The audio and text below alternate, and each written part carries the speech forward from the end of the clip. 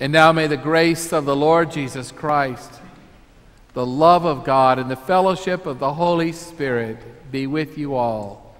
For you are indeed beloved children of God. Amen.